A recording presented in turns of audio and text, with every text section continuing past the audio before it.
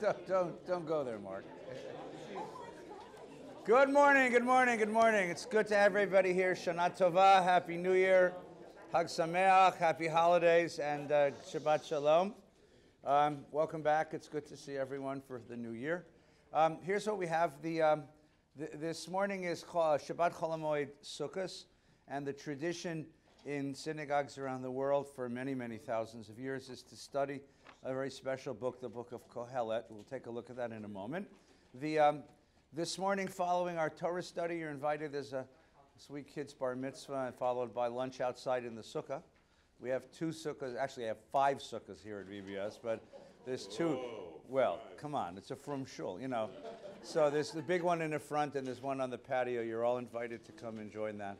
Um, and then uh, this week, we have uh, uh, the, the holiday begins again on Wednesday night. Thursday morning, the Yizkor prayers, Yizkor prayers are recited uh, for Shmini Atzeret.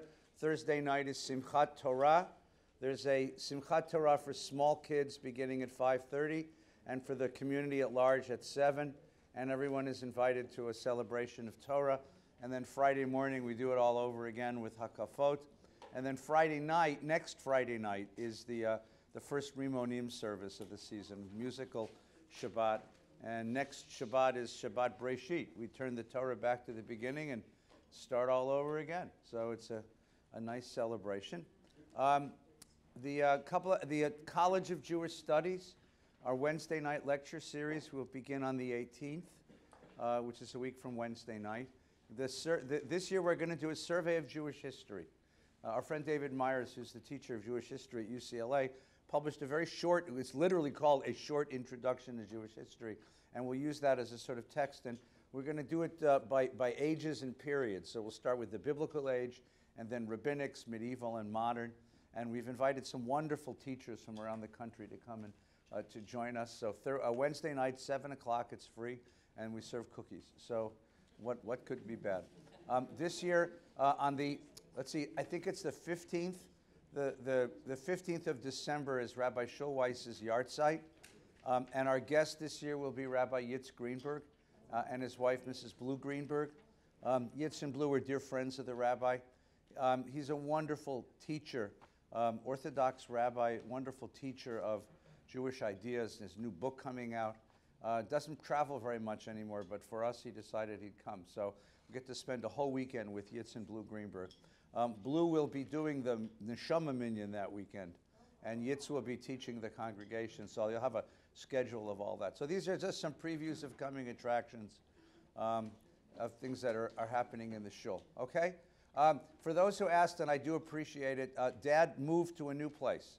Uh, he's out of the rehab, where, which is good because he was sort of miserable there. And he moved to a boarding care on Victory Boulevard, a, wet, a block west of Fallbrook on the north side of the street. It's, it's be- between Westlake and Fallbrook. Yeah, it's, it's 23259 Victory. I'll put that up someplace. If anybody would like to go visit him, he'd love to have visitors. He's, uh, he's, he's kind of lonely, and if you have a minute and can drop over, it would mean a lot. And we're hoping that he continues to recover uh, physically. He's doing a lot of physical therapy. He's feeling better, so thank you for your prayers and your thoughts. And the other one is that uh, member of our synagogue community, Andrew Pelter, who's our our tech guy, uh, his niece was shot in Las Vegas.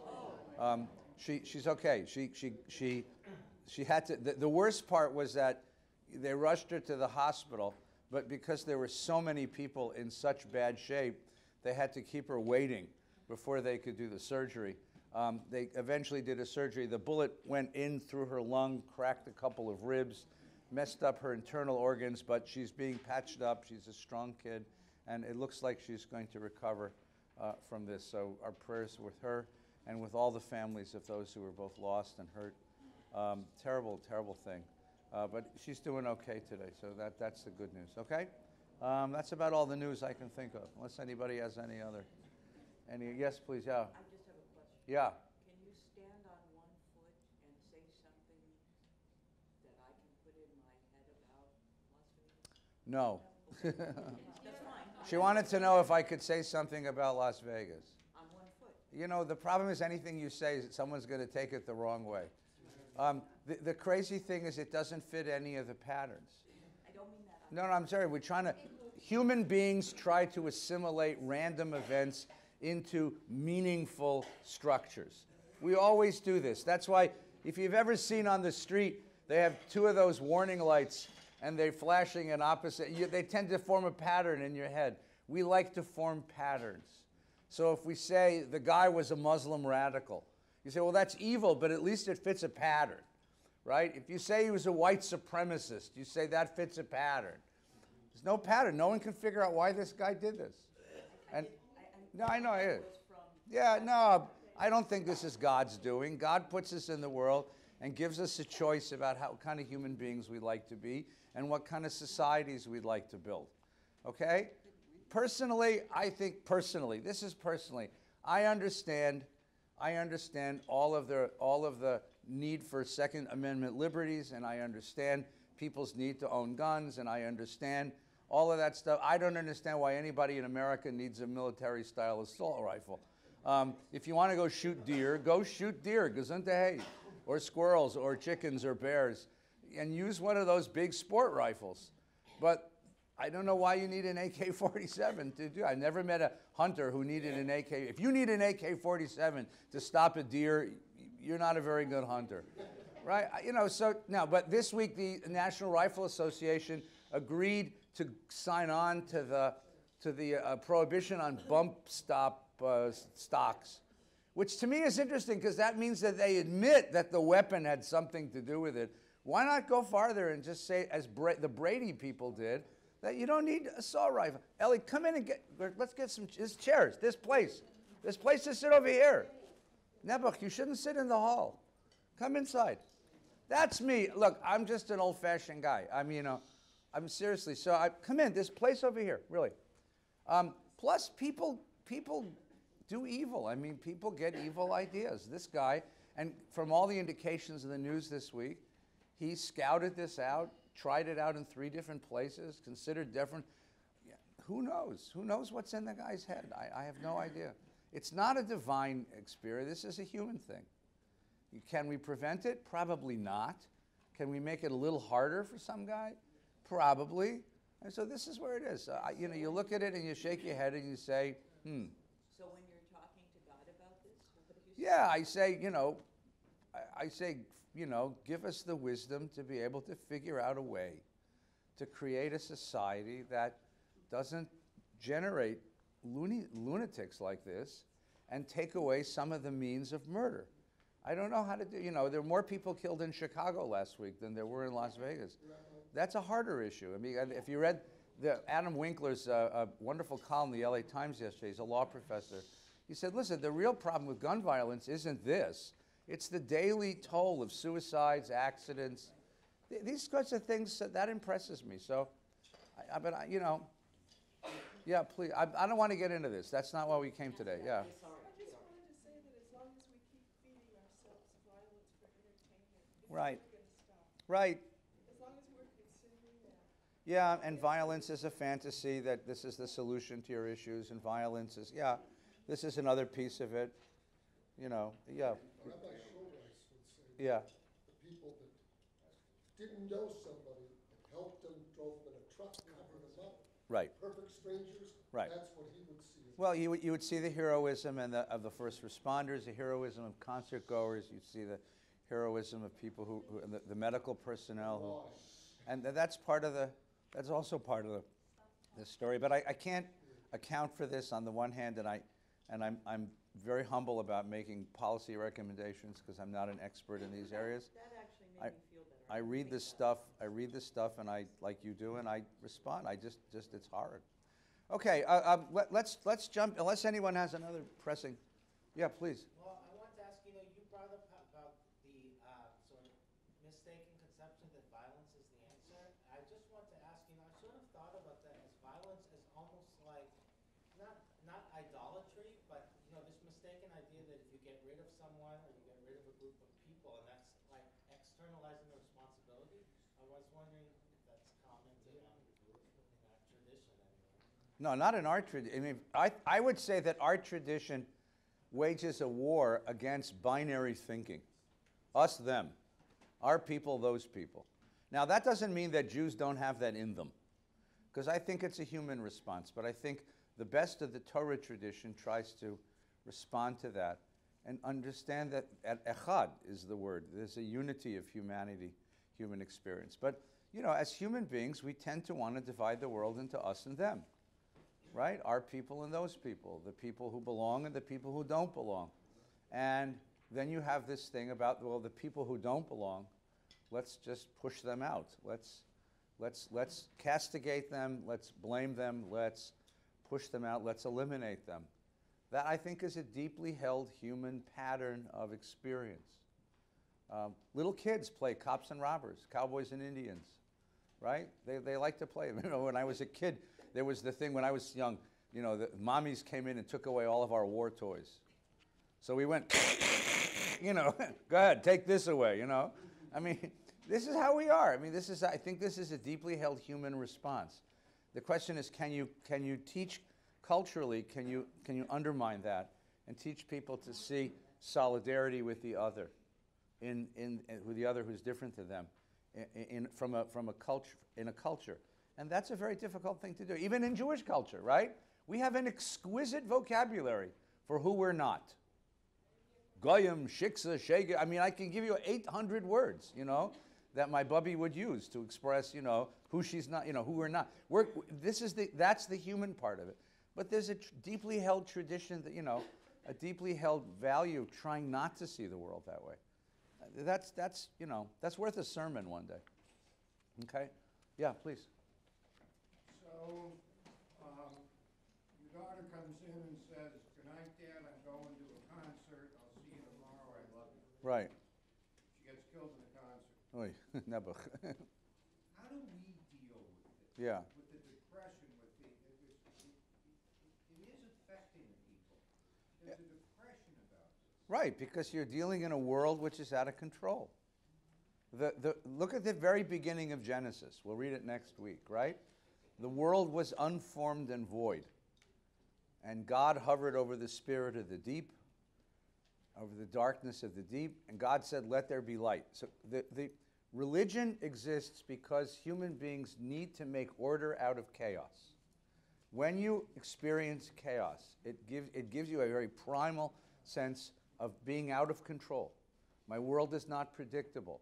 And if my world is not predictable and it's out of control, it's no longer my home. I feel out of place, out of home in my own world. I can't count on anything in my own world. And that's a terrifying re- reality. It is an absolutely terrifying reality. And so you seek ways of trying to find new order or a different order or a higher order. Sometimes people will say, I mean, there are, there are religious people who say it's all in God's hands, which is a way of creating order out of chaos and say this is intended. There are those of us who say, I wouldn't worship a God who did this sort of stuff. That puts us back in the chaos game. So then you say, well, I, I look to the, to the activities of those who heal as an example of divinity in the world. That gives me some sense of the, the moral value that's possible. I, you know, this is the human condition. The human, this is unatana tokef, right? This is that prayer we read, right? Right? Mi yachio, mi amut, mi mi lo. Who's going to live and who's going to die? And, and it's all written in God's book, and we have nothing to do about it. You know, and then at the end of the prayer, it says, Shuvat filat tzedakah. And then it doesn't even say what it's supposed to say, because the original text was Tshuva Tfilah Tzedakah, repentance and prayer and tzedakah. The original text was Mivatlina Tagzera. That will cancel God's decree. But somewhere in the Middle Ages, people realized it don't work. So they changed it to Mavirinit Roa Hagzera. It mitigates it. It ameliorates it, makes it a little better. Because you, this is the human condition. The human condition is you live in a world which is fundamentally out of control. We create pockets of control, pockets of home, pockets of predictability. Listen, you become very aware of those pock- of, of the value of those pockets of predictability when things like this happen. Most of us go to concerts and don't get hurt. You know, and think about the thousands and thousands and thousands of people you interact with, and somehow we all abide by a common social code that protects us. It's a remarkable thing. But sometimes this chaos breaks through the world. And when it does, it hurts. So you grieve. and you mourn and you seek wisdom and you seek the comfort of a community. You seek tshuva tefillah tzedakah. You, you seek a, a, a different way to think about the world. That, that's, that's, that's the human condition. That's what we spent all Yom Kippur beating our chest about. And then to the extent that you and I contribute to it, that's our sin. That's what we have to be careful about. Right, that, that- let, let's go to this now. Is that okay? All right, so really quickly, so let, let's, let's talk about where we are in the Jewish year. We're in an extraordinary spot. So we've done this before, but let's catch up. Israel, like California, has no river. Ancient civilizations were built by rivers, right? The, the Nile in Egypt, Tigris and Euphrates in Mesopotamia, the Mississippi and Missouri in North America, the Amazon in South America, the Yangtze in China, right? The Rhone, the Rhine, the Danube in Europe. Great rivers gave great civilizations because you had a common source of water. So you could irrigate crops, build a, a surplus of wealth, and have enough people around to create culture.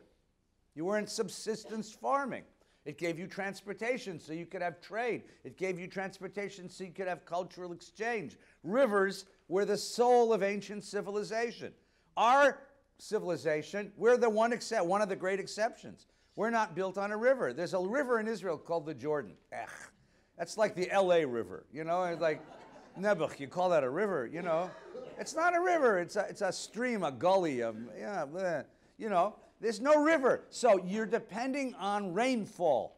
When you depend upon rainfall, you live with a degree of dependence, a sense of vulnerability. Either it's going to rain or it ain't going to rain. California, right? Either it's going to rain or it's not going to rain. If it rains, I'm going to have plenty to eat. If it don't rain, I'm in big trouble. That sense of dependency is one of the fundamental factors of Jewish culture. Now, just like California, Israel doesn't have four seasons, it has two a wet season and a dry season. When you have the seam lines between those two seasons, wet and dry, dry and wet, we have holidays. Religious cultures decorate doorways. Doorways are considered spiritually dangerous because the moment you walk through a doorway, there's a split second in between when you're neither here nor there. You're neither in nor out. And that split second is dangerous. So religious traditions decorate doorways. Literal doorways, we put up mezuzahs. Buddhists put up prayer flags. Muslims paint them in aqua green. Many cult, all cultures, all I would say all religious cultures do something on doorways, right? Americans have burglar alarms. This is how. this is how. No, it's a ritual. You come in, you push the button. No, I come in, I push the buttons, the thing stops beeping, right? Does it really protect my house? Eh, maybe, you know. But at least it's my ritual. I'm home, you know? It, it, it- not just doorways literally, but doorways of lifetime. Whenever there's a transition, when a couple goes from single to married, we decorate that with ritual. When a, when a family welcomes a child, the child has gone from non being to being. We welcome that child with ritual. And when one of us goes from being to non being, when there's a death, we, we decorate those moments with ritual. When a child goes from childhood to adulthood, we decorate and protect those moments with ritual. Similarly, in the, in the, in the, in the lifetime, the, the experience of us all, there's rituals for the morning when you go from night to day, and rituals for the night when you go from day to night. There's rituals when the seasons change. You see? So, when the seasons change, we have two sets of rituals. In the spring, when we go from the wet season to the dry season, because it's been raining all spring and we know we're going to have a great harvest in the fall, you have a series of happy holidays. You have Purim. Well, first you have Tu B'Shvat, but you have Purim, which is the holiday where everything turns upside down. Then you, four weeks later, you have Pesach, which is the holiday of the high brisket costs, right? and, and liberation from slavery. And then you have seven weeks later, you have Shavuos, the giving of Torah, the meaning of freedom, freedom from and freedom to. Then in the fall, when we go from the dry season to the wet season, and there is some anxiety about is it going to rain? How, how do we know it's going to rain? And rain was considered a gift. So we have to ask for forgiveness for the sins that might keep the rain from falling.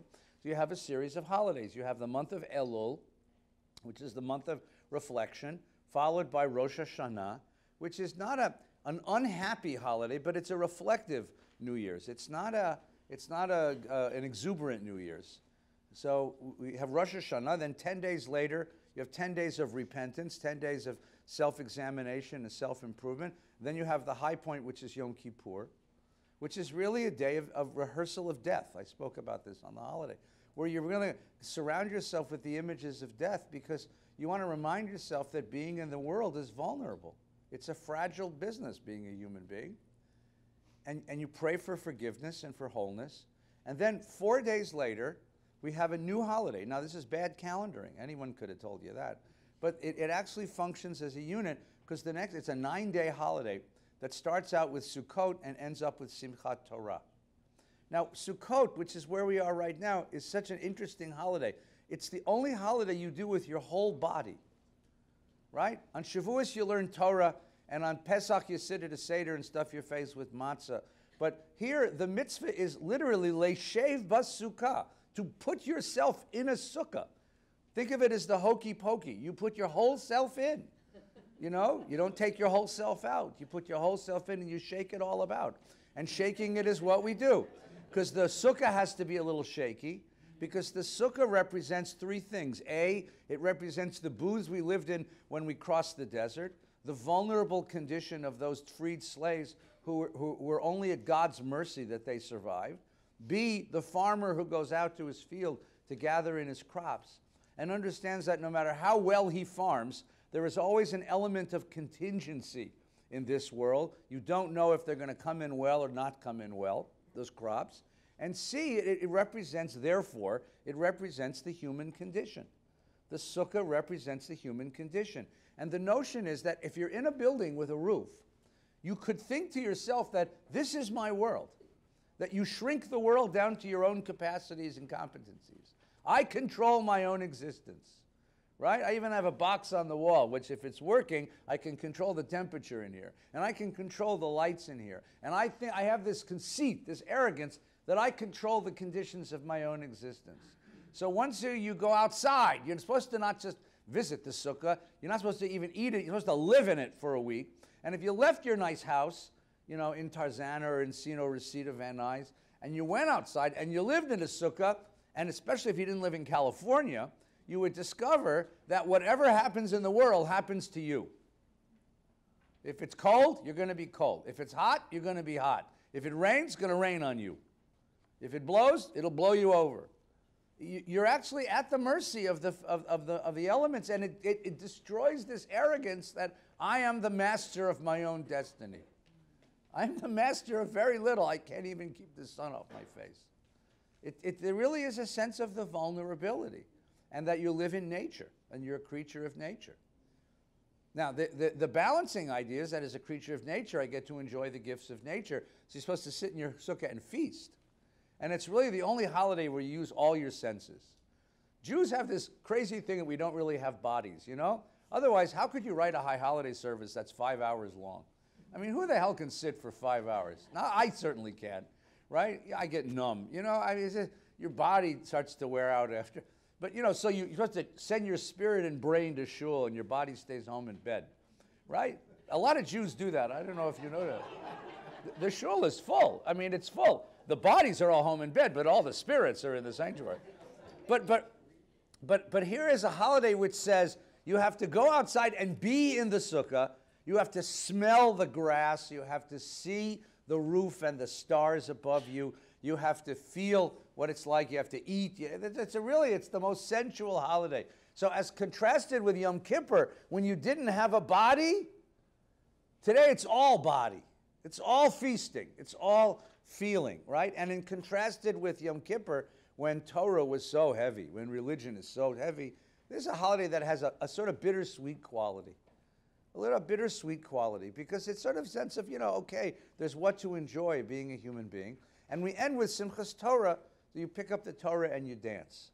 So this, one of my friends called this a halfway house.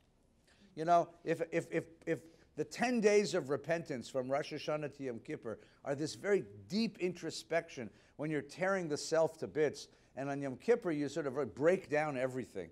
You give it your all at Nila, Well, now, before you can go home to the normal life, you got to stop someplace and sort of recover a sense of being human.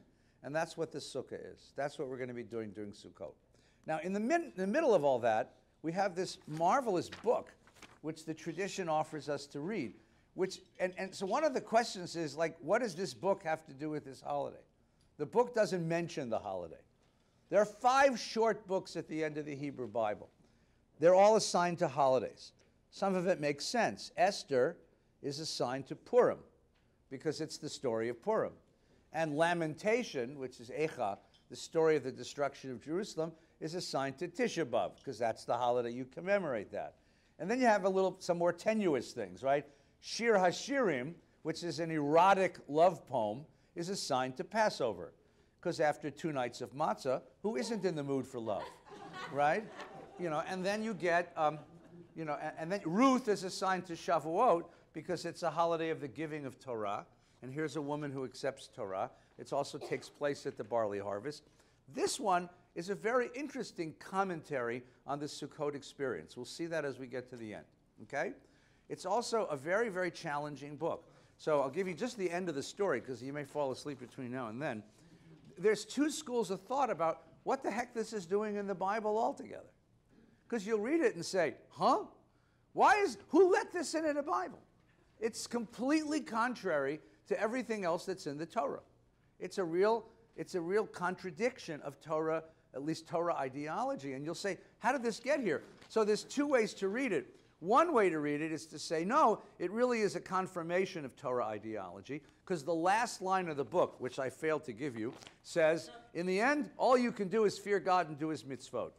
And so there's a certain school of traditional thinking that said, well, that's the upshot of the whole book. And then there's another way to read it, which is ironic. And this is more the more modern way to read it, which is there's something ironic about this, which is what, what's important here is not what's said, but what's not said. And at the end, I'm going to ask you, new, how did this get into the Bible? Fair enough? All right, questions, comments, counter sermons? We good so far?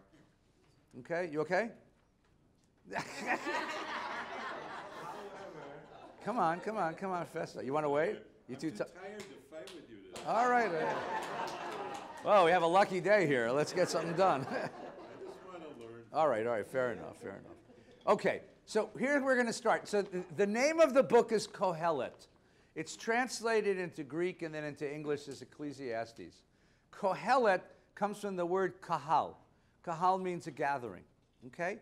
Um, the, the book is, you're going to see in a moment, portends to be written by King Solomon. And you'll see why in a moment, because Solomon had two characteristics which make this book remarkable. Number one, he was the richest of all men, and number two, he was the wisest. And if you can have riches and wisdom in the same place, you can carry out a certain kind of thought experiment, which the rest of us will find inaccessible. The other thing that's interesting, though, is that most scholars don't believe this came from King Solomon. In those days, in ancient times, you could assign a book to a character and you didn't get sued for plagiarism. Um, instead, the word Kohelet seems to imply, um, seems to mean a street preacher. There was a moment when the great empires of the East, um, first Babylon, then Persia, then the Greeks, came and washed over the ancient Near East.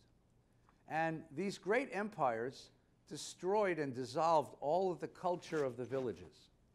If I live in a village, I don't ask the question, what's the meaning of my life? Because the village preserves my memory. A village is a bounded place. It's bounded not just to protect it from outsiders, more importantly, it's bounded to, to preserve what's within. In the village, everybody knows who, your name, who you are. Everybody knows your name and your parents and your grandparents. In the village, every accomplishment is recorded and remembered. In the village, you gain a certain immortality in the collective memory of the village. You know, you are the shoemaker, you are the farmer, you are the mother, the father, the teacher. You had a wisdom, you have extor- you you, you count, you matter. What happens when people move from the village to the big city of the empire, to the imperial capital? You end up with something called urban anonymity. Urban anonymity, an urban anomie. That is a sense in which nobody knows me, nobody knows my name, nobody knows I exist, nobody knows that I matter, nothing I do makes an impression on the world. Okay? Nothing I do makes an impression on the world. Who am I really? And then what happens is you have the rise of, of preachers, of street preachers, and sometimes these guys got jobs as the tutors of the sons of the wealthy. And, and what they would do is offer wisdom. Here's how to live your life. Here's how to gain some immortality in this anonymous world. Here's how to live a life that matters. And that's going to be the question that Kohelet asks us. Kohelet looks into the world and he sees nature. And nature is, every, everything in nature is in cycles. Day follows night, follows day, follows night.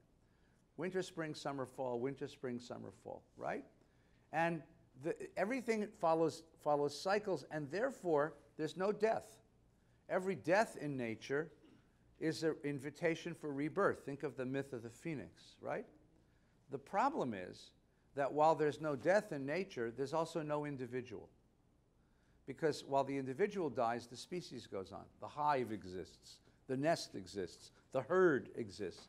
But the individual's life is extinguished. Um, Lewis Thomas, the great Harvard biologist who wrote about sociobiology, made a comment once where he said, In nature, there is no such thing as an ant. An ant doesn't exist. Ants come in mishpachas, you know, especially when they invade my kitchen, you know. they're, they're, the whole mishpacha comes in, right? There's a whole family, there's a whole nest. It, it's, it's, it's a social organization. There's no such thing as a bee. Bees are, are, are part of a hive. The individual is extinguished by the cycles of nature. Nature doesn't know from individuals, but we human beings have a deep sense of individuality. So, how do you live between those two things? How do you live between the, the, the, the cycles of time and that, that extinguishes individuality and my own sense of individuality? So, the, the image that Kohelet is going to offer us is something you're all familiar with. If you've ever gone down and spent a couple days at the beach, you go down and spend a couple days at the beach and you sit on your beach chair and you watch, right?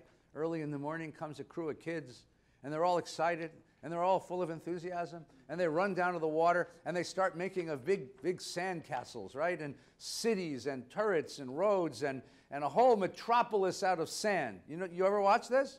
And they're just gleeful because it's amazing right? And they, got buckets and shovels and they this whole thing and then about three o'clock in the afternoon what happens? The tide comes in and it washes it away and the kids go home. And the next day another group of kids comes and they build another big city out of sand and then the tide comes in. And by the third day, you get it. And you start to say, like Kohelet does, well, here's what he says, right? Utter futility. Utter futility, all is futile. What real value is man and all the gains he makes under the sun? The Hebrew word for futility is hevel.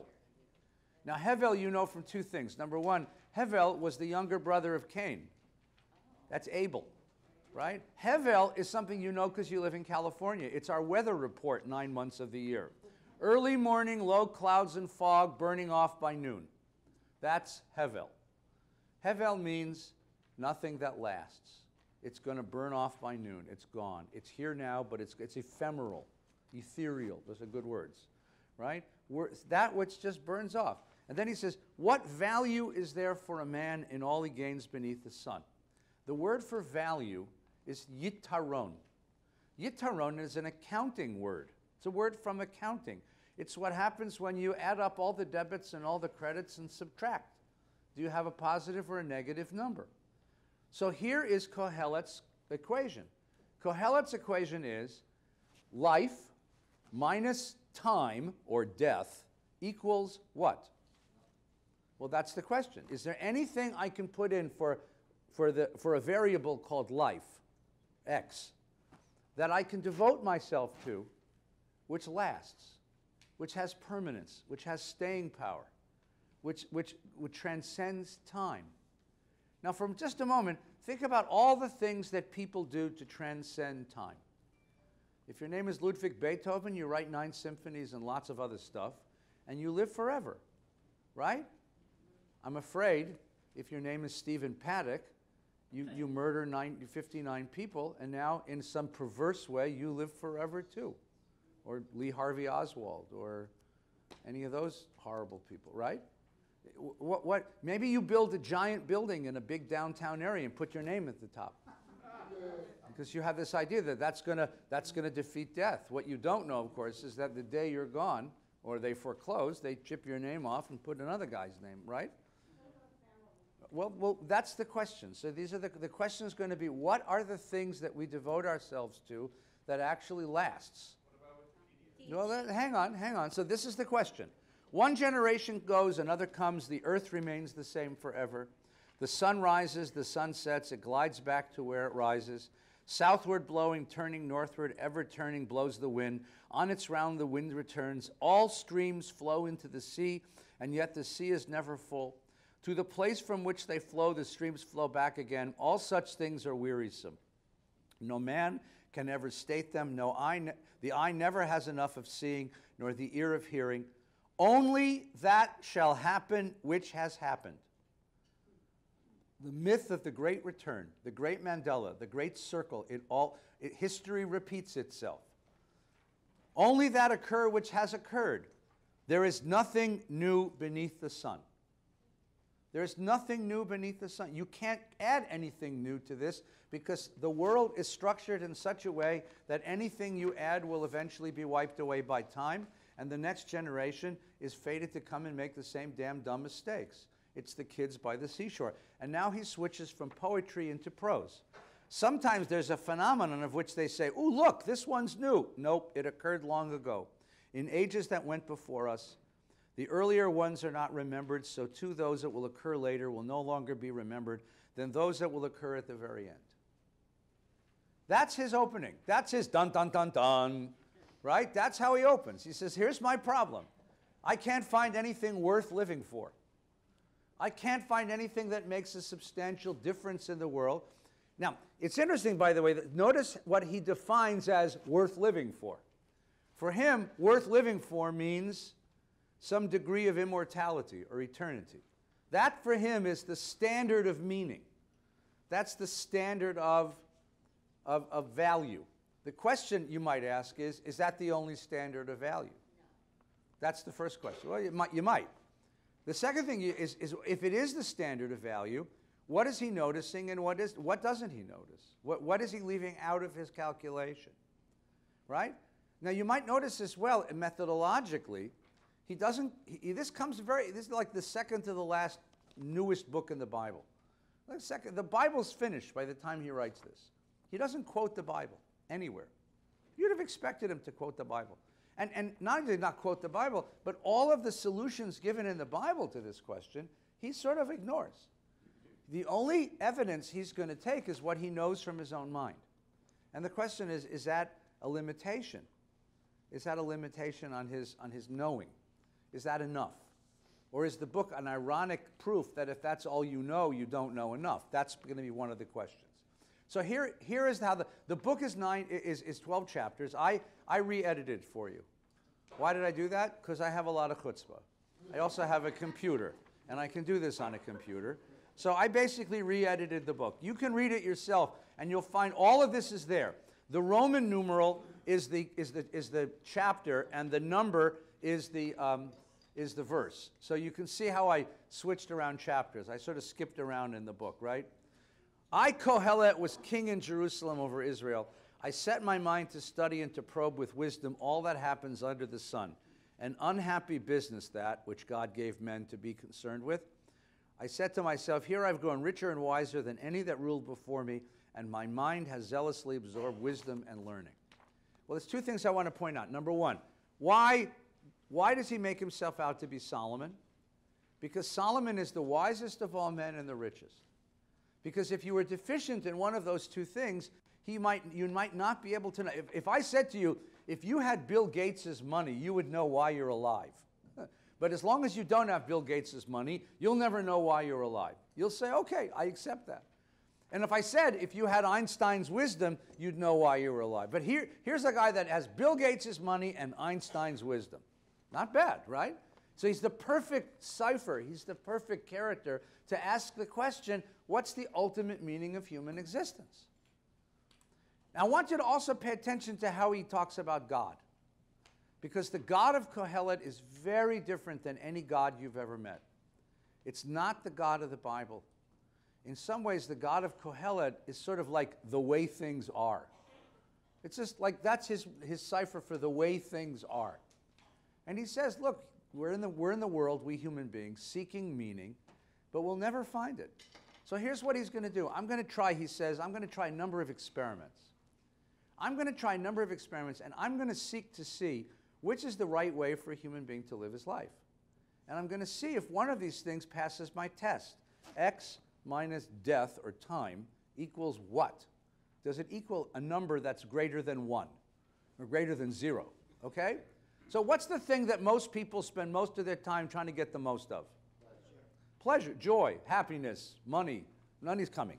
Pleasure, joy, happiness. In America, we have a wonderful three letter word for this fun.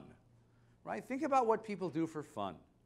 Right? Just think about the enormous investment in fun. Right? When I was a kid, Disneyland opened. You know, it was a great thing. We went once every two, three years. We had a drawer full of tickets, A through E. Remember? Right? E, the E's got used up quick. If you don't, if you if you didn't understand that reference, you're you're too young, right? right? But but in the old days, there were tickets A through E. E were the fancy ones, the E ticket attraction. A you kept in the drawer, and when you went back, you brought this big, thick, you know, right? Right? How many of those are there? There's now like a dozen of those parks in this area. Like, the, like we needed more, you know. Uh, so let's take a look. So pleasure.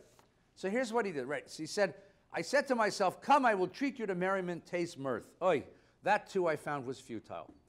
Now here's his story. I ventured to tempt my flesh with wine and to grasp folly while letting my mind direct with wisdom to the end that I might learn which of the two is better for men to practice in their few days of life under heaven.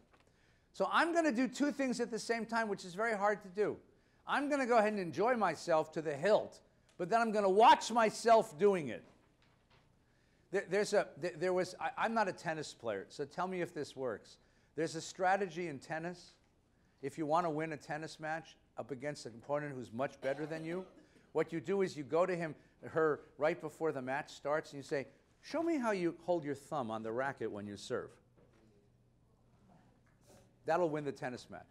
Because for the rest of the afternoon, that person. Right, because if there's one tenth of your brain watching you do what you're doing, it means that 100% of you is not doing it. You, you see the problem? Right? So the question is so he says, I'm going to try this. I'm going to try to enjoy myself, and then I'm going to watch myself enjoying myself to find out if enjoying myself is really the thing that's worth spending a lifetime doing. So the first thing you could ask is, that's not enjoying yourself, right? That, that's like, that's not enjoying yourself. That's, that's, that's not the way it's supposed to be, right? I, I ventured to tempt my flesh with wine to grasp. All right, I did that, right? Um, I multiplied my possessions. I built myself houses and planted vineyards. I laid out gardens and groves. I constructed pools of water. I got slaves. And he gets everything, right? Look down at verse 9. Thus I gained more wealth than anyone before me in Jerusalem. In addition, my wisdom remained with me. Listen to the next line. This is 10. It's just great. I withheld from my eyes nothing they asked for. Just take that in for a minute. That's the American consumerist dream, right? Walk through the mall, have it all. Have it all. Have it. Whatever you want. Take it. It's yours. Walk through the mall, have it all. Right? I, I, I withheld from my eyes. That's, remember that there was a television program with that obnoxious British gentleman, The Lifestyles of the Rich and Famous. Remember him? Yeah? Yeah, I remember him. Oh, here we are in his beautiful mansion on the island of Yechopitzville, which he owns himself, you know. Remember Richard Robert, what? Oh, the aptly named Robin Leach, you know? Kishmohu Kanehu, yeah. Wow. You know, he has his own plane to go wherever he wants with supermodels coming out of the faucets. I mean, it's, remember that? He puts Perrier on Dom Perignon on his cornflakes in the morning, you know, served to him. By, you know, and it was like you watch this and you're like, oh, yes, that's what I want. I want, you know, you know, Nebuch, you know. I withheld from my eyes nothing they asked for and denied myself no enjoyment. Just, just think of that, right? Now listen to what he says. This is a, such an interesting reflection. It's not Puritan. Puritan would say, shame on you for being so sensual. He doesn't say that. I got, rather, I got enjoyment out of all my wealth. But that's all I got out of my wealth. Which means what? That's, that's a beautiful statement, isn't it? Right? There's nothing wrong with having fun. There's nothing wrong with enjoying yourself. There's nothing wrong with a nice meal in a nice restaurant. There's nothing wrong with a nice walk in the park. There's nothing wrong with sensual pleasures, except, yes, except it's not a reason to be alive. It's not, hedonism doesn't work. Why doesn't hedonism work? Hedonism is the, the pursuit of pleasure. We, we're mourning this week. We're still sitting Shiva for Hugh Hefner, right? Oh, wait, we had Yontif, so I guess it canceled the Shiva, but. But if, if you're not that halachic, you know, we're still sitting Shiva. Remember that there was a page at the beginning of Playboy. That was the page that was the damning page. It was, What sort of man reads Playboy? And it always showed some gorgeous man, you know, and he was always doing something so very cool. And there was always some enormously buxom, beautiful woman looking at him out of the side, like, Oh, that's the kind of man I would like, you know. And that was our image of masculinity growing up, right? to be a real man, you have to have the best of everything and, and, and have women, you know, oogling you like that, right? What's wrong with that kind of lifestyle? It's a slippery slope. Which means what? It means that that nothing will satisfy you. What's the problem? Why, why won't something satisfy me? Just wretched, empty, empty, wretched excess. Well, but, but wretched excess is nice. I'm, I'd like to try it for a while. Um, if, if anyone would like to fund me, I would do. Uh, put a GoFundMe page up and see if someone. The rabbi would like to experience. Yes. Reach a point where it's never enough. Right. See, the problem is that whatever experience, it's, the, it's called the cycle of addiction, right? Whatever experience gave you joy today loses its novelty the second time, right? That's what Hugh Hefner, by the way, was a genius in this. He said this. He said, no matter how gorgeous, luscious, sensual, sexy Miss January is, guys will always buy the magazine to take a look at Miss February. Because whatever you got, the next one is it needs to be bigger and better and, and right? That's called the cycle of addiction. You know you need a bigger hit of the drug the next time right? So and, and, and if you don't get it it becomes it becomes dull. It becomes boring right it's the kid who says i've been to disneyland already you know never i mean if you can't have a sense of wonder at disneyland right yes please I would also say, you know, with hedonism, you're Huh? only focusing on the receiving, and you're, you get satisfaction from contributing, and that's how you. You do, he doesn't. He, he, he has no satisfaction from you. We'll come to that in a minute. Hang on a minute. All right, number two, let's, let's move forward. Wealth. The, the second thing that people spend the most amount of their time trying to get the most of is money, but not for the sake of the pleasure it gives them, just for the power of having money. Just for the sense, you know, just for the sense of being a winner, as it were, and this is the way you keep score. Remember the movie Wall Street? right? The kid asks him, "How many boats can you ski behind?" You know, and the answer is, "It's not. It's a game, and I want to have the most points." Right? So he he, ta- he thinks about this, and you can see what he says. There's two problems with money. Number one, my thoughts turned to the fortunes my hand had built up, to the wealth I'd acquired, and one, it was futile. For what will be the man like? Like what will be the man? What will the man be like who will succeed the one who's ruling? You can't take it with you. So who do you end up leaving it to? The kids who didn't earn it. Who didn't earn who didn't don't know the discipline of working hard to earn it. And that's why, you know, these hereditary fortunes typically go to hell, right? Because the second generation doesn't know what the first generation went through in order to to gain it. And that's a common story, right? Right? And then, so look at the next one. There's an evil I've observed. Sometimes God grants a man riches, property, and wealth, so he doesn't want for anything, but God does not permit him to enjoy it. Instead, a stranger will enjoy it. Right? It's one of the, the jokes in our families. I say to my wife, you know, your next husband's going to have it really easy, you know? You know, he's gonna, I gave you all this stuff, right? Right? This is futile and if even a man should beget a hundred children and live many years, no matter how many days his years come to, if his gullet is not sated through wealth, I, he says, I said, the stillborn is better, right? And then the other problem is the one at the top of the next page, which is a lover of money never has his fill of money, nor a lover of wealth his fill of income. When does a person say enough? Because once you get into the game of wealth acquisition, and you're chasing some sort of, you know, mythical rabbit that, that's, your, that, that's success, there's never a point at which you say, I have enough. I can stop. Bill Gates, this notion that, you know, that, that, that, that Warren Buffett's going to give all of his money to Bill Gates to invest in charity. And, and Gates, who's now, I think he's retired from the company, right? And he just does charity all the time. That's very unusual. I mean, usually these guys stay in it forever. So there's, there's no end to it. It doesn't, it doesn't ever stop. So now you say, okay, but that's fine because those are material things. Rabbi, this is the Bible. Let's talk about spiritual goals. And now here is where Kohelet's really going to scare you because he's going to take on the spiritual goals that are at the heart of Jewish existence. The first one is wisdom. I mean, what can be more important than Talmud Torah? You know, Talmud, learning. We send our kids to school. Every Jewish kid has to go to school, right? Every Jewish kid has to get an A, right? So he, he says, Look, I found that wisdom is superior to folly as light is superior to darkness. A wise man has eyes in his head, a fool walks in darkness. In the same way that pleasure is fine because it makes life pleasurable, but it doesn't provide a, a, reason to be, wisdom is pragmatically useful because it leads you to make better decisions. But the question is is wisdom a reason to live? Is the pursuit of wisdom the ultimate value, the highest value? He said, I don't think so. Because why? There's two reasons. Number one, I realized the same fate awaits both. So I reflected if the fate of the fool is also destined to me, to what advantage have I been wise? Now, the number, so the first thing is you can't take it with you. Wisdom doesn't protect you from death. The second problem with wisdom is what? Here's the second problem with wisdom. My dog woke up this morning really happy. I don't know if your dog woke up this morning really happy, but my dog was just charming. I mean, he lived by if God ever tells you you have to come back to earth, but you can't come back as a human, come back as an Encino Jewish dog. My God.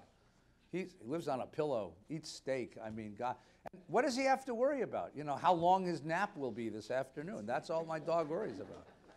Right? I wake up in the morning and I read through new, three newspapers. So by the time I get to my morning coffee, I have a splitting headache. The more you know, the more miserable you are. I mean, it's, it's just, you know, the more you know, the more miserable. Because, because, because the, the more you know about the world, the more of its misery to you, do you imbibe, you know, and so you sort of look at the dog with a certain degree of, a certain degree of, of jealousy, you know? And then you say, you know, I'd, I'd like to, you know, You ever have one of these people at a cocktail party? I don't know if you ever had a friend, a par- birthday party or a cocktail party, go to a ball game. You know, I took a friend, I said, You're so depressed. Come with me to a ball game. We went to a ball game, right? I said, Wasn't that a great hit? He looked at me and said, There are refugees. I said, Yeah, yeah, but look, look at the game. Watch the game. It's a great game. It's a great game. He says, Do you know how many refugees? I say, like, that person is you're not going to distract that person. It's, it's, a, it's a mindset. So for, for him, wisdom is both a blessing and a curse. It's a pragmatic blessing because it you, enables you to live more effectively in the world, but it's a curse because number it doesn't make you happy. It doesn't give you a sense of peace. It doesn't, and it doesn't give you somebody that lasts beyond time. So now you'll say, okay, well, let's get to the thing the whole Bible is about. The whole Bible is about what? Kedusha, about holiness, righteousness, right? Kedoshim tihiyu ki kadosh ani Adonai. Be holy, says God, right? Do justice. Tzedek, tzedek, tirdof. Do chesed, right? Walk humbly with God. That must be his answer. That must be his answer, right? Here's, it's really going to scare you. Ready? Look at where it says righteousness. You see it? I have observed under the sun Alongside justice, there is wickedness. Alongside righteousness, there is wickedness. And I mused, God will doom both righteous and wicked, for there's a time for every experience and every happening. The world's a mixture of all this stuff. So how do you live with it? Well, here's what he says. I further oppressed, I further observe the oppression that goes on under the sun. The tears of the oppressed, with none to comfort them, and the power of their oppressors and I accounted those who died long since more fortunate than those who are still living. He says, when you look at the misery of the world, and, how, and, and, and the, the contrast between oppressor and oppressed, how do, you, how do you have any sense of relish for life, of joy, of joy for life? A little bit farther. For the same fate is in store for all, for righteous and for wicked, for good and for pure, for the impure, for him who sacrifices and him who does not, for him who is pleasing and him who is displeasing, and for him who swears and him who shuns oath. And that's the sad thing. Right? If you think that coming to shul is going to change your fate, Kohelet says, listen, I've seen it. It, it, do, it, it does, doesn't help. And so finally he says, what? In my, this is the most surprising of all. This one made me scream. Right? In my own brief span of life, I've seen both things. Sometimes a good man perishes in spite of his goodness, and sometimes a wicked one endures in spite of his wickedness. So, don't overdo goodness. and don't act the wise man to excess, or and you may be dumbfounded. Don't overdo wickedness. Don't be a chazer, right? Don't over. Don't be a schmuck, right? But and don't be a fool, lest you die. It's best to grasp one without letting go of the other, for one who fears God will do his duty by both. What does that mean? Don't turn the page yet. That's too delicious. The, the whole Bible is about seek righteousness, do justice. And here comes a guy at the end of the Bible and says, not so much. Like, not, don't be, don't be too good. Remember Fagin? You know, you've got to pick a pocket or two. Right? You got to have some kind of a, in this world, maybe in God's idea, you can be 100%, you can be Mother Teresa, right? But given the way the world is, you, you're best to be 90% Mother Teresa and, and, and, and 10% Bernie Madoff. No, you know, because that's just the way the. What does he mean by that? Look at, don't overdo goodness. Don't, don't because you'll get smushed. Because people who are 100% righteous get smushed. Yeah. That kind of comports with an observation of the real world. It is. And notice, by the way, he's not quoting Bible. He's not even referencing. This is, this is all based on his experience, his empirical experience. When it says beneath the sun, that's what he means. In like a hundred years of practicing law, I've come to the conclusion that an honest businessman is one who doesn't try to screw somebody else if the deal works out. really? Yeah, I mean, if, he, if the deal works out as planned, he lives by the deal. Right. Doesn't work out, yeah, well, screw everybody else, I'm in for me. Right. But there are plenty, if the deal works out as planned, I'll still try and screw somebody. Really? Yeah, yeah, I mean, that, you, do a lot of that in business. Sorry. You look like you needed a hug there, Douglas. I just want At least they pay their legal fees. to. Please, Marcia. My, my daughter once said to me many years ago, and I don't know where she heard it, that life is an endless search for a reason to live. Okay, well, I want to come to that at the end. Because you'll see on the last page, I give you Kohelet's answers, Yehuda Amichai's commentary, and then I'm going to ask you that question. Like, what's your answer to his question? Because I think that what's happened here is we've, we've been asked a question, and I think it's a remarkable question. And I I think it's a, que- and it's a good Sukkot question. Because Sukkot is this bittersweet holiday following Yom Kippur, when we've done all this work of tshuva, when someone says, New Taka, what's it all about? And I think it's really, a, it's, a, it's, a, it's a remarkable opportunity to, to reflect on that. Sherry, go ahead. So, I think that he's not giving any credence to the existence of his soul, Okay. and things are not equal. Wisdom is maybe the you could nurture the soul more than pleasure and wealth. All right, so one of the questions I'm going to ask you is what's he missing? And one of the things he's missing is, you said, cultivation of soul. Okay? Because cultivation of soul makes you read the world differently than he reads it. Okay? So we'll come back to that in a minute. Yes, please. You know, he, the way he's going about this, it really reminds me of Ben Franklin, who, you know, was very big on, like you said, cultivate, cultivate the good life and thinking what works here and kind of being moderation. Right, so, so who is he? He is either the street preacher, but more likely he's the tutor of a wealthy noble nobleman, right? He's the, he's the old man who has lived well, and he's tutoring this young man, and they get to the question of, I mean, you think Aristotle tutoring Alexander the Great, right?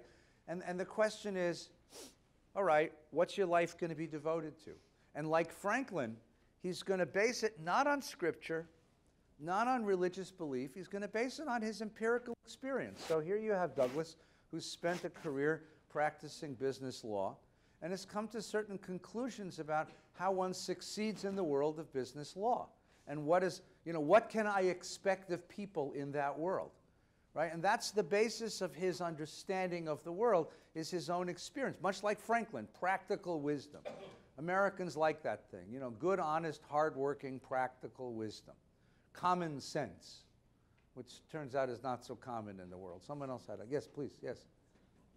I think it's, it's the whole duality of the world. You can't have day without night, you can't have evil without good. And so I think the meaning is finding the balance. Okay.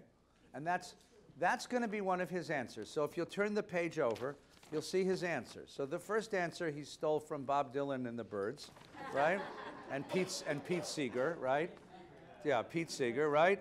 To everything, turn, turn, turn. There is a season, turn, right? This is where it, it came from, actually came here a little before, right? A time to be born, a time to die, a time to plant and uproot for slaying and healing and tearing down. What does he mean by that? He means by that right? There is no abiding meaning, there's no principle that you attach yourself to. There's a rhythm to life. And there are going to be moments of joy and moments of sadness and moments of accomplishment and moments of failure. And your job in life is to go through those, the rhythms of the life and, and, and cherish each one of them, to find meaning in each one of them, right? And so he gives you the, he gives you the, the prose version of that underneath it, right? What value then can a man of affairs gain from what he earns? I've observed the business God gave man to be concerned with. He brings to pass everything precisely at its time. He also puts eternity in their mind without man ever guessing from first to last all the things that God brings to pass. That's a sort of a shtoch to God. He says, He gives us the capacity to imagine immortality, but no means to get it. Right? No means to get it. Thus, I realize the only worthwhile thing there is is enjoy themselves and do what is good in their lifetime, and that whatever a man does eat and drink and get enjoyment out of his wealth, it's a gift of God. So you just, you know, that's a nice sukkah, kind of a resigned Sukkot thought. Sit in the sukkah and enjoy the family that's around you and the meal that's in front of you, and don't try to think beyond that. That's his idea. And then he gives it to us again. Go eat your bread in gladness and drink your wine in joy, for your action was long ago proved by God.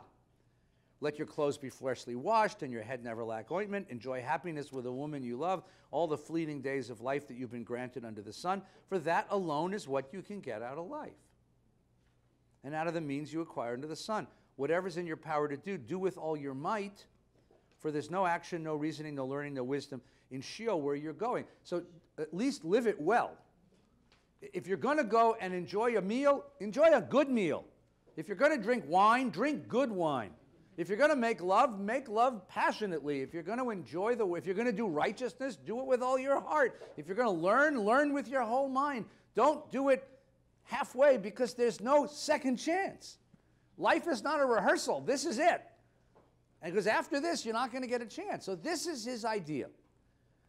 This is his idea of the way that one lives without this, without a, pr- a principle of of eternity, without some notion this is the source of immortality. So here are my three questions. Number one is Do you agree with this? Is this is, is, is, is he missing something? What's he missing?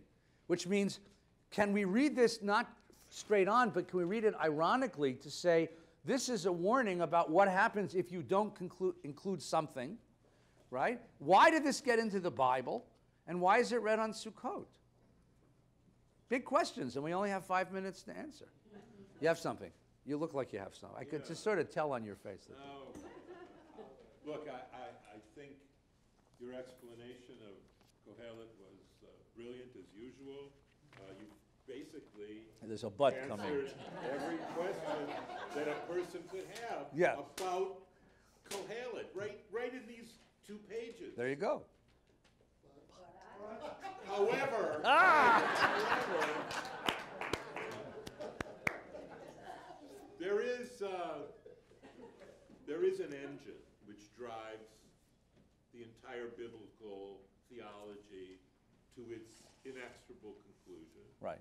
And that conclusion happened exactly when this was written. Not Solomon, but somewhere between four fifty and one eighty, somewhere in that range when it was written. There was a man who tutored Alexander, Aristotle. Right. And he came through and he met this guy. And he changed forever the way Judaism would imagine the world. Mhm. Because there are, the, the question that is the engine is why do the righteous suffer? And, and it's an engine which constantly reimagined Judaism because of its, what Hegel calls the dialectic. The first solution is, well, we suffer in this world because we sin, our rewards and are in this world, our punishments are in this world, and they're collective. Mhm. It's the whole community that, so then the temple is, the north is destroyed in seven twenty-two, the south in five eighty-six, and people say, we cannot believe that, the dialectic is moved on. And so there must be a new solution, because we cannot believe that collectively we deserve this catastrophe. In this world. In it. Right. The, the next solution is Ezekiel, who says, Ish yamut, says, eat, now, now it's no longer collective. It's still this worldly, Yeah. but it's individual. Right. Each person will live and die by their own sin. Right. All right, so the problem with that is seen in two books. This is one of them, Yeah. and the other is Job. Right. They both say, okay, so what happens when there's an individual righteous man and he suffers? It violates the whole system. Right. And that moves the dialectic on. But there was no solution to it. Right. Until Aristotle came and taught itinerant teachers called Pharisees, who later would become rabbis, who would write a new religion called Judaism, which would birth another religion, Christianity and Islam, and change the world. And that idea was matter and form. The idea of potentiality, matter, and form, actuality. The idea was the world isn't just simple, uh, made up of stuff. Yeah. It's made up of two principles. And one is the principle of things changing, and the other is a world of ideas, which makes the stuff what it is. But the world of ideas are eternal and immaterial. And what that, so the, the Pharisees, these, these Jews who had no solution to the next step of the dialectic of why do innocent people suffer, they see, my God, here it is. Matter will be goof, Body. form will be neshama, Soul. Soul, Right. and all of a sudden, there's a reason to live. Right. And their fates are not the same. Right. And Sheol is not the destiny of all people. Right. Because after you die. Your soul lives on in the Olam Haba. Okay. It was the solution to Ecclesiastes. It is the solution to Job. And it is a solution that they didn't have. And it is, I know, your intention Yeah. to include that solution, which you have for reasons which are, I must admit, at the moment bewildering to me, you have not included until this. Yes, moment. that's right. I waited till the last moment. Why was it included in the Bible, though? Because it was 331 when Aristotle came as the tutor of Alexander. Before then, before then, this was the greatest intellectual transformation in the history of mankind. Yeah, but you see, but, but, the- so my So question they is, is, didn't have the tools. yeah, but why would you include a book that undermines everything else in the Bible? Because the book said the dialectic must move forward. The idea of ish yamud, each Okay. person will die for their own sins. Righteous people do well, wicked people are punished, is wrong. Okay, It's okay. wrong. All right, so- And Ecclesiastes knew that. So let me just give a Rashi to this. So, so, so, so the reason, the, the book is an evidence of something. When we say the word Bible, we assume that's a book with an author with a point of view. And if it's not one author with a point of view, fine. It's a bunch of authors with a point of view because it wouldn't be in the book if it didn't share that point of view. Typically, you don't put ideas in a book which contradict all the other ideas in a book. But that's not the editorial principle of the Bible. Because if it were, this book shouldn't be there. You can't have Kedoshim Tihiyu. You will be holy because I, the Lord your God, am holy. And a guy who says, don't overdo goodness.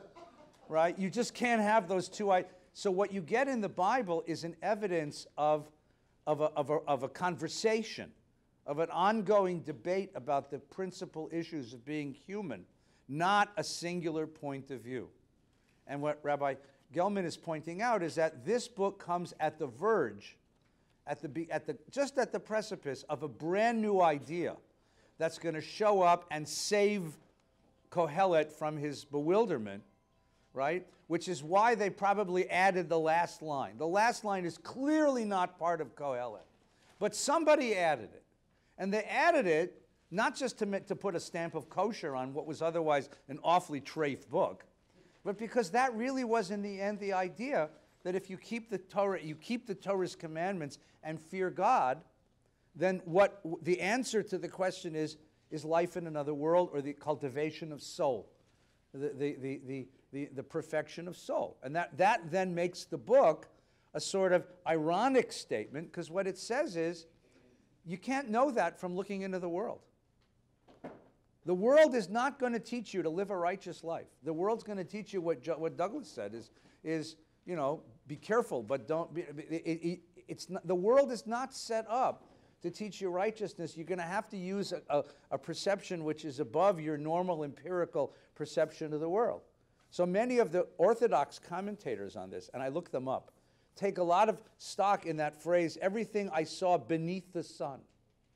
And they say, what is that Tachat Hashemesh? What do you mean Tachat Hashemesh? It's not just a phrase. What he's trying to say is that, that our normal empirical experience of the world isn't sufficient to tell us the real nature of reality. Because what we're looking for is something that's above that, above the sun, as it were, above something more powerful than that, which is this notion of Olam Haba. That's one way of answering Kohelet's questions.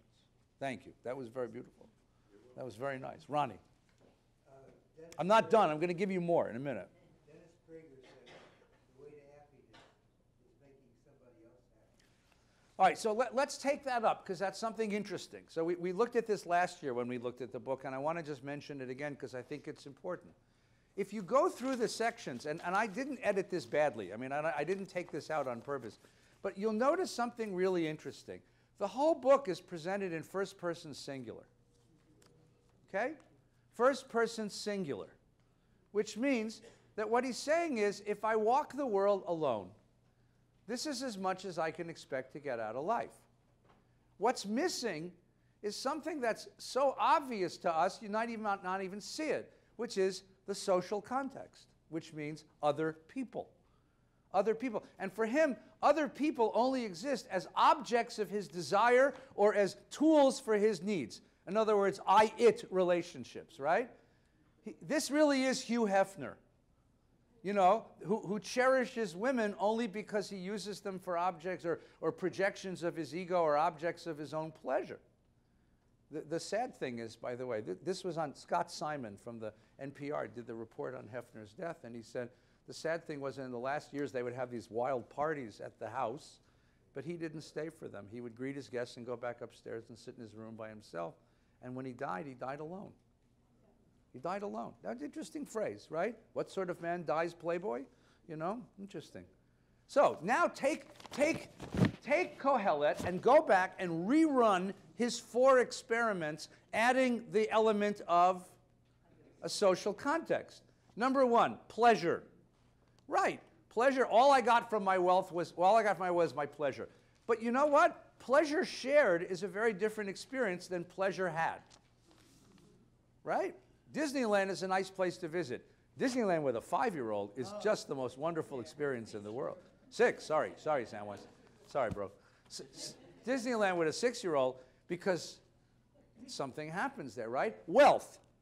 Wealth for myself is one thing, wealth as a tool for touching the world is a different thing, right? Go backwards. Righteousness. This is the one that, that, that bothers me the most. I don't know if you saw this.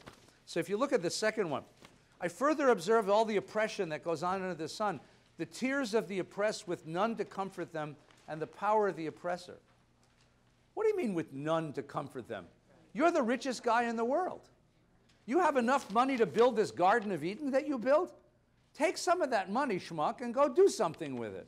Right? When he says, alongside justice there's wickedness, and alongside righteousness there's wickedness. But what doesn't happen is the wickedness doesn't seem to touch him. It doesn't claim him in any way.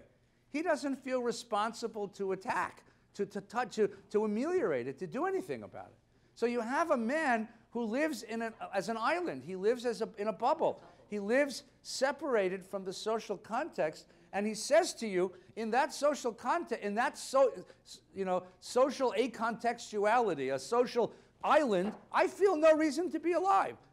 That's what Genesis said. That's why God said, Lo tov heyot adam livado. You can't live your life alone. Now, the, uh, to me, the fun part is the, is the last one, is the third one, is wisdom, right?